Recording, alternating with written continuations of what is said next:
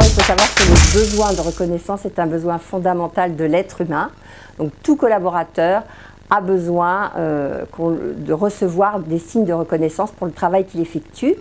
Et tout patron également a besoin euh, que ses collaborateurs lui manifestent euh, des signes de reconnaissance parce qu'être patron, c'est pas facile. Alors les signes de reconnaissance ne passent pas uniquement par la reconnaissance salariale, même si elle est essentielle.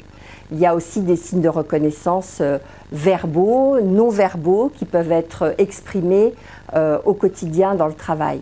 Alors, quand ces signes de reconnaissance n'existent pas, il y a des risques très importants pour euh, l'entreprise. ça peut être des, risques de démotivation très forte des équipes, de retrait des collaborateurs qui vont moins s'impliquer. ça peut être des risques également de perte de cohésion d'équipe.